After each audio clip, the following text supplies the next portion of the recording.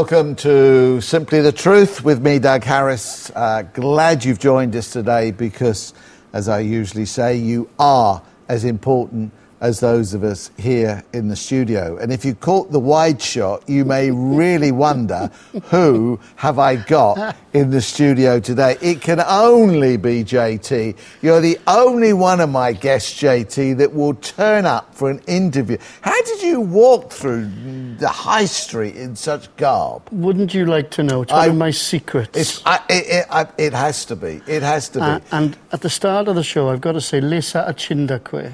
Have you really? Yeah, You praise the really, Lord. Mm-hmm. You re- oh, is that what it is? You, you're learning the language then? Well, a little bit. I think I need to show them respect because most of them are learning English. So me, me saying a few words to my friends in Zambia, like um, Lisa Amapale, God bless you. Right. Uh, you know, Great. you got to do it. And and and, and you got a hat, Mz- Mzungu. Mzungu. Yeah, well, on, that- tell that- tell me about i- that. Well, that's identifying who I am, you see. I've been to Africa 13 times. Right. And uh, um, a, the term for a white man, a European or whatever, in Africa, a, a vaguely sort of insulting term is Mzungu. So I take great delight in referring to myself as the Mzungu. And so it gets a bit of a laugh. So I thought I'd buy a cap which actually says Mzungu on it, which I'll take off in a minute actually. but uh, yeah, yeah, yeah, that identifies So me as see your new hairdo. as a Mzungu. Well, same hairdo as last time, Doug. You know. and and does does the the the, the shirt mean anything, or is it just bright colours and? They, It's just bright like- colours. You yeah. got a problem with bright colours? I've got no problem with bright. I normally wear black on the yeah, show. I'm colourblind, so I, I'm The, no um, idea. I mean, how can I with bright colours with the waistcoat? I bought this in Lusaka in Zambia, Yeah. uh, which is the place I go regularly, you know, to Zambia, uh, just because I thought it was really lovely. It's very cool to wear. Uh, and when I was in Zambia earlier this year, I wore this quite a lot. Mm. And yeah, as you said there, you, you were in Zambia earlier this year, and you invited me, didn't you? I did invite you, Doug. and, and what did I say? uh, well, this time you said no. Last time I said no. But listen, I will get you to come.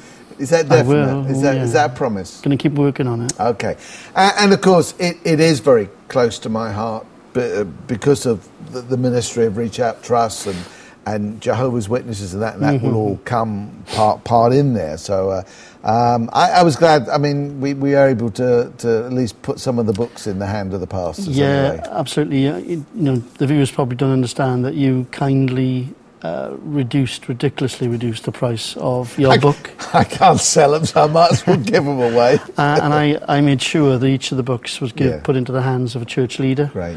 that would be able to educate another 100, 200 Mm. people. Amen. So, um, yeah, it was really kind of you.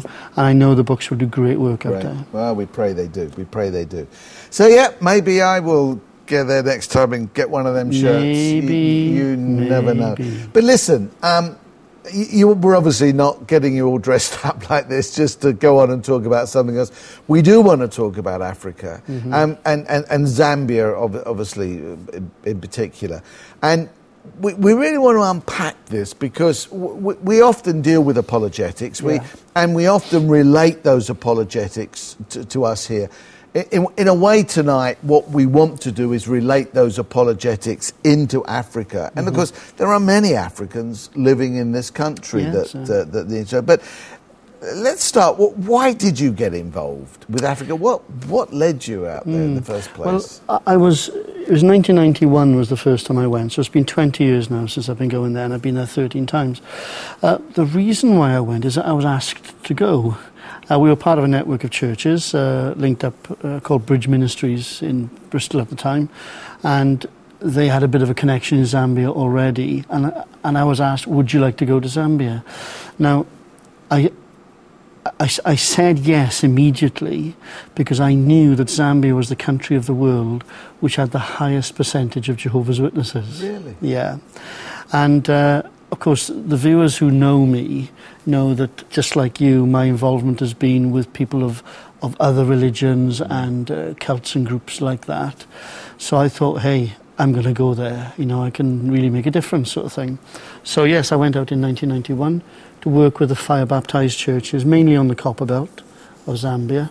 Um, but of course, my involvement in Zambia has increased since then. I've taught in a few Bible colleges and things. Uh, and of course, over the years, you know, the, the, the breadth of things that have happened since that first connection, there's, um, there's been two minibuses sent out there. We've, we've uh, bought or built a few houses for people.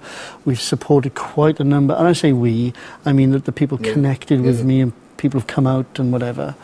Uh, there's, uh, there's been um, a, gr- a number of churches have helped build uh, Mutende, which is uh, a children's village, because of course there are an awful lot of HIV-related orphans there. And recently, my home church back in Swansea, Linden Church, helped build um, uh, a small school, uh, which which is doing great work. Okay. I mean, can you remember? I, I mean, because you, I mean, culture is so different, and can, can you remember how you felt that that first time? That I guess you, I can. I, I felt very white. Uh, yes, this Mzungu boy felt very white. Um, I'll, very quickly, I, remem- I remember about five minutes into my first journey, my first moments in Zambia, uh, there was um, a young lad, young lad then, he's a businessman now called Gabriel Mwenge. And I said, Gabriel, are we going to see lions? Are we going to see elephants, giraffes? And he said, oh yes, we will, in Kitwe Zoo. Yeah. I had this, I had this idea, you know, that I'd be travelling up the road and seeing all this wildlife. um, but my, my impressions, uh, the Gulf was huge. And Zam- I, I will say Zambia's changed enormously in 20 years. Um, but I, I remember just the Gulf, the difference between, uh, in, in terms of um, money, availability, uh, possessions, quality of, of uh, food, housing, etc., etc. And that still is the case in many ways. Um, although these days, I remember being shocked in one of my later visits, seeing a, a teenage Za- Zambian with a mobile phone. It stopped me in my tracks. I just looked at her like this. I, and obviously Zambia was changing. Now, almost, I'd say almost, an awful lot of Zambians have got mobile phones, but uh, they use them as a replacement to their landlines, of course. um, but the roads are terrible. You know, the main roads are okay, but the town roads, Yeah. when I went last time, the, the town roads in Chingola, the town where I was staying, were the worst, the worst I'd ever known them, which shows that there's a problem in the, in the, the way that the, financially the society runs, you know. When, when it comes to communicating the gospel, Mm-hmm. uh, did, did, did you find a difference in the way you needed to communicate with them than you would, you know, on the street in Swansea or whatever? Um, um, I'll say strangely no. Although there is one difference. There's one difference. In, in Zambian culture, it already accepts the reality of spiritual things. Right. So, So- that is true of much of Africa, isn't it? Yes, it is. Yeah, it is. So you don't have to go through 10 hours of counselling to discover someone's got a spiritual problem, all right? It'll come out straight away. So we did, an, we did an open air. It's actually videoed, Doug, right? I have to show it one day. we, we, we did an open air in uh, Chingola bus station. And while we were doing, we were waving some flags, and the Mazungus were dancing in the meeting, you know, singing away. Um, and we, we, we were in the middle of this open air, we cast out some demons out of a teenage girl. And you think, what? What, you can't do that? You couldn't do that in Swansea on a Saturday afternoon? No, in the bus station. in the bus anyway. station. Um, but it was so on the surface. Yeah. And the, so it's more direct. You can be much more direct. Um, and also, what you what you mustn't do the same here. And those who, the viewers who've listened to the material we've done together on the mm-hmm. gospel in the mm-hmm. past, uh, the, my emphasis of the importance of repentance and the lordship of Jesus is equally, if not more, important over there mm-hmm. because they've, in some ways, they've picked up all the bad lessons that we have. S the difference is, like 70% of the people in Zambia go to church, mm. right? And it's not just nominal church. These are people who say they're born again, but uh, there's a high degree of what you would call evangelical nominalism. Mm. So you'd have everybody would say they're born again and use our sort of language, Bible believing Christian type language, but their life is exactly the same. But doesn't that make it more difficult to to communicate the gospel for people to respond to the yes, gospel? Yes, it can be. Yeah, yes. it can be because most people think they are. Mm. Um, but if you are communicating you know, the importance of change your hearts and lives as repentance, mm-hmm. well, even the ones who say they are, you know, uh, will be challenged by that. And you can be very direct out there. Like, well, I remember because of my emphasis on like repentance, putting faith in Jesus, being baptized in water, being baptized in the Holy Spirit as being the proper Christian foundations, we'd, we'd form queues. Those who want to repent and believe over here, line up, right? Yeah. Those who want to get baptized, line up here. Those who want to be baptized in the Holy Spirit, line up here. And those who want to have some demons cast out, line up here. And it's as natural as breathing. Mm. It's really, it's, it's really you, good. You, yeah. You'd never get that here. No, because you, you, if you're talking demons, you have to yes. go through hours of chatting yeah. and yes. whatever. Yeah. I mean, does the church face different problems and, yeah. as a result of this? I mean, um, what, what, are some of the issues that the church really are facing out there? When I've asked, when I've asked my Zambian friends, and I have a lot of Zambian friends, and I count them as true friends, you know, this isn't like you know the, the big white man Bwana coming in. I am a friend of theirs and I help resource them. When I've asked them what the problems are, they've told me consistently there are three major problems uh, drunkenness, witchcraft, and immorality. Mm. And those are the things that they within face. the church, or, or, or within. Mm, well, in terms of people coming into the church, within yeah. the within the church specifically, the there is a problem of resources. Yeah. A huge problem. Yeah. Um, but so you come back to us. Okay. So yeah, I was I was wondering whether oh, you were sorry. saying this was the problem that, with people in the church, or the, but these are the people that they're seeking to reach out to that are coming yeah, in. Yeah. Th- those are the three main areas. That's right. But in terms of of problems within the church, um, th- there is a massive problem of resource, and like there are an awful. Let me be really blunt about this, right? That there are massive needs in Africa. There are massive needs in Zambia. HIV is, is epic, huge problem. People die all the time. There's generations have disappeared. You, you could look for where's the 30 year olds, where's the 40 year olds, you know, where the 50 year olds? They're gone. They're all dead. Um, why, have, why, why in each of the houses? If, if it wasn't for the Zambian family, African family, where you look after relatives, um, the whole of society would have collapsed. Mm. Because the household I was in recently, there were assaulted young people uh, who have no parents because their parents have died. Mm. Um, but anyway, the, the, and, and people will give people will give money, you know, for orphanages which are desperately needed out there. And you look at the Jehovah's Witnesses; they don't build schools, they don't build orphanages, they don't build mission stations, they don't build medical facilities, but the churches do, mm. and it is needed, and it's fantastic. But if if you were to ask what is the need of the church specifically, and the church needs resourcing, it needs study Bibles, it needs good materials to work with. It needs that they can't afford to buy the stuff that we take for granted. Mm. They need lots of you a book, to be mm. blunt. Mm-hmm. Um, and my focus. try and do more. Yeah, my focus is to support the churches, mm. and particularly the 80 odd churches that mm. in the fire baptized network. Um, you know, when I say study Bibles, you think, oh, what, is that going to change the world? Oh, yes, it is.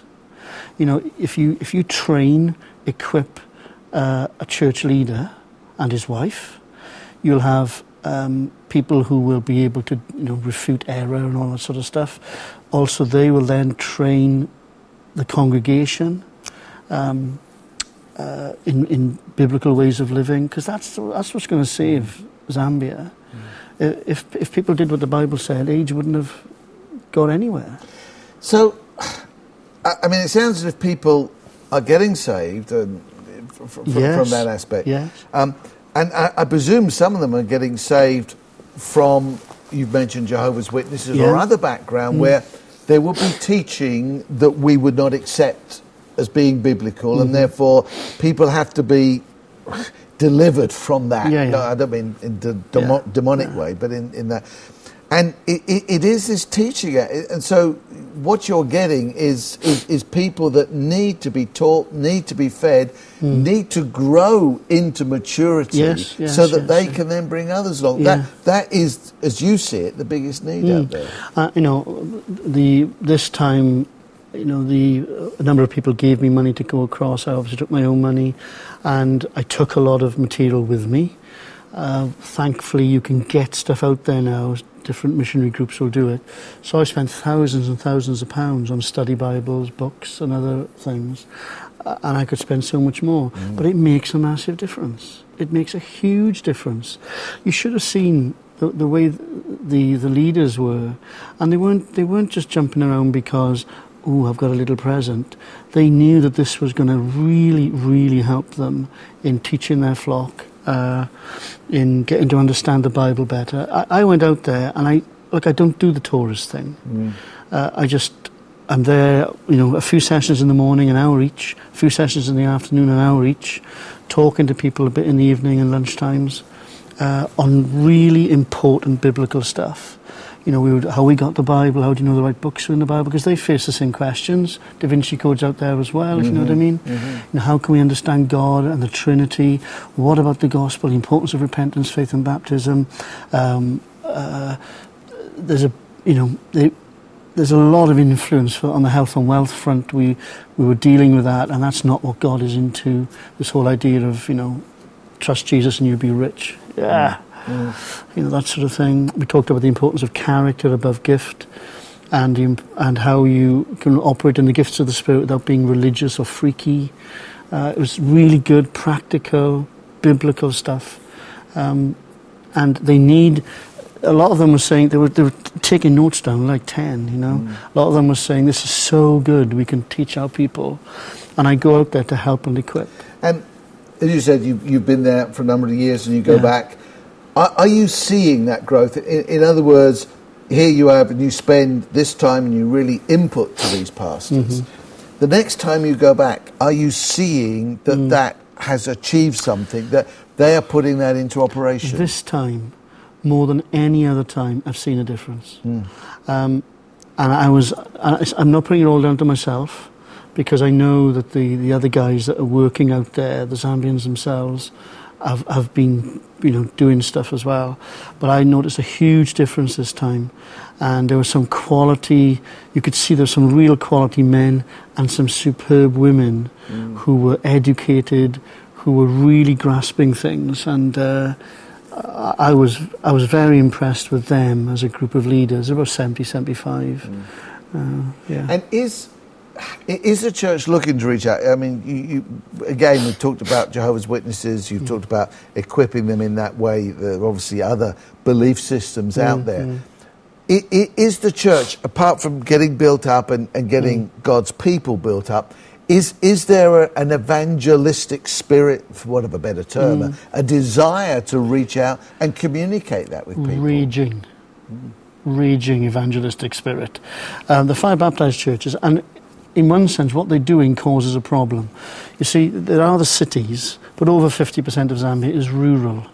Um, over 50% of Zambians are subsistence. You know, they just go out and get some food and whatever. Um, and if you've ever been there, you'll see the towns. But when you're driving up the main road, you see these little groups of huts and things. You know. Um, anyway, what what the fire baptized churches do is that they reach out into the into the bush. Okay, so they'll turn up and they'll preach the gospel, talk to people, pray with people. Big emphasis on praying, seeing the power of God at work. When you haven't got any money and you haven't got access to medical supplies, it really is only one thing you can do is trust God and pray.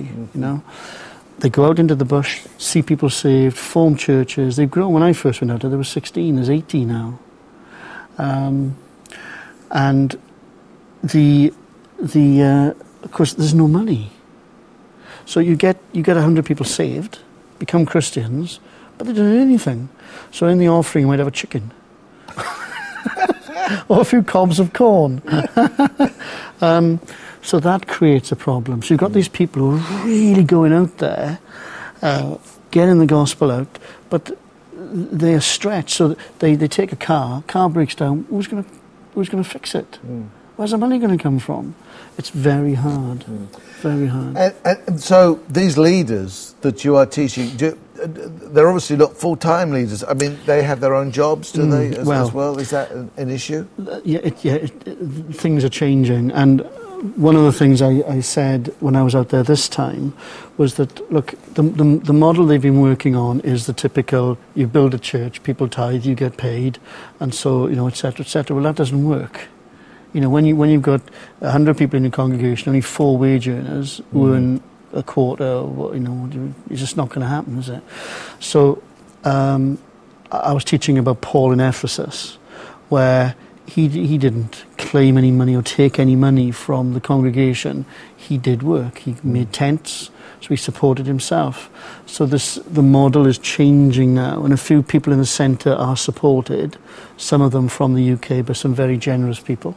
Anybody want to support a pastor? See, give me a call. Um, or buy some books, please, give me a call.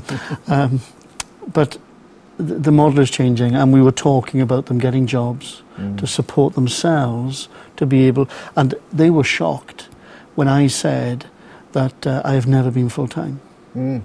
Which I've never been. Mm. You know, I people most people know I'm uh, in my other life. I'm a I provide independent financial advice, um, but that's my other life, mm. and but that supports what I do mm. uh, for God and whatever. Um, so that the, the model is changing now. I mean, we, uh, we're always thinking that you know we, we can take, we can go, we're the missionaries to them. Uh, I mean, I know that is changing in a while, but mm. Looking at the church in Zambia, I mean, are, are there lessons that we can learn, or or are there things that that, that, that, that we should avoid? I mean, when you go there, mm. do do you come back with a sensing, hey, we could really learn from that here? Yeah, yeah. Look, I, I say to them, right, I arrive, other people go out there, we bring things, mm. right? Um, and they're very thankful. But I say to them, look, please, don't you ever run away with the idea that we do all the giving and you do all the receiving. You know, the sense of faith, uh, of worship, uh, this simple idea of one of the things they say is um, uh, they, they might start a meeting and say, God is good all the time, all the time, God is good, right? And some of these people live in abject poverty. Mm.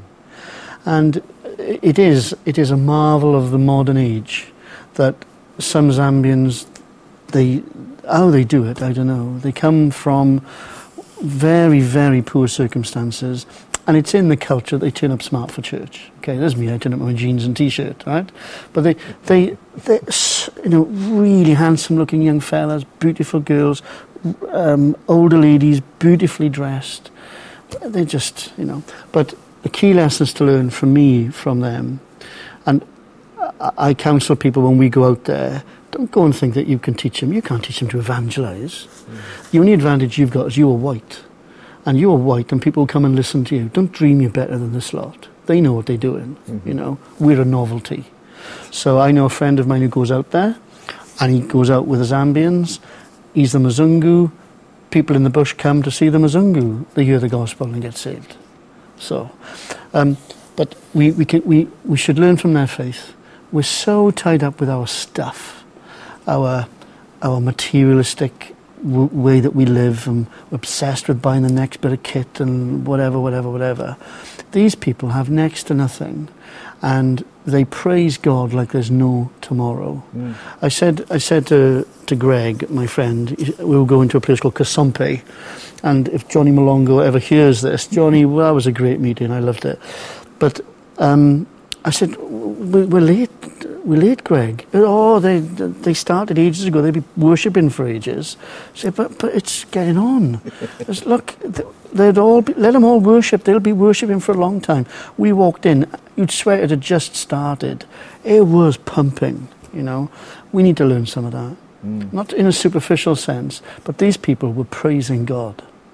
Um, and I've been in conferences sometimes, six o'clock in the morning, they're banging the flipping drums, but you can't mourn because it's out of a spirit of uh, joy and desire to serve God. Um, the, the simple, natural, real, ordinary use of the gifts of the Spirit, and particularly stepping out in praying for healing and deliverance. Do, we do need to learn that. Do you think we become professional? Yeah. You know, in in in in, Oh, in, yeah. in the in the way that we do it, rather than just believing God and and go. Do, do, do, do you feel it's sort of? I suppose I would call it almost down back to the grassroots. Is is, Yeah. is that what's Yeah. going on? Uh, yeah, it is. And there are things they can learn from us. You know, uh, they, they've inherited a particular style of doing things which hasn't been helpful. But when it comes to, you know, I, I was I was sharing some fantastic stories. There was one. I was driving along with the guy in the car, telling me about a particular couple, and I want to identify Yeah. them just in case. Yeah. Um, and they said, "Oh, well, you know, um, what's her name? We." Uh, we, we first met her, and me and my mate, we had to pray for her because she had some really serious demons. And for them to say that, this would It have been really bad. bad, really bad. And this woman is now one of the leaders of the church. Uh, and it was just the most natural, ordinary thing.